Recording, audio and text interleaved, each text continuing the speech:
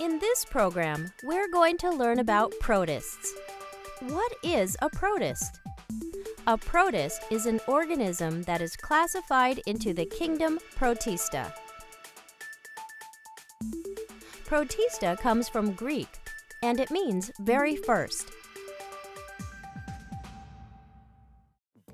A protist is any organism that is not a plant, animal, or fungus.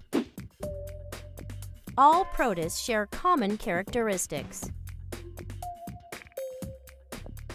All protists are eukaryotic, which means they have cells with nuclei. Protists can be made up of one cell, unicellular, or many cells, multicellular. In addition, all protists need some type of moist or water-based environment in which to live.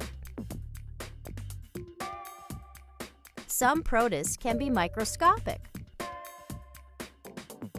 Some protists can be hundreds of feet long. There are a wide variety of protists. Protozoa are animal-like protists. They move through their environment and catch their food. Algae is a plant-like protist. They make their own food and produce a lot of oxygen. Slime molds are protists that are fungus-like and can act as decomposers, breaking down dead organisms.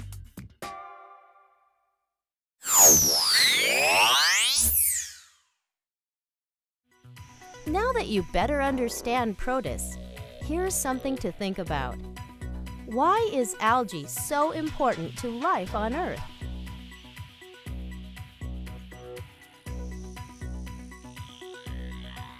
Think about it.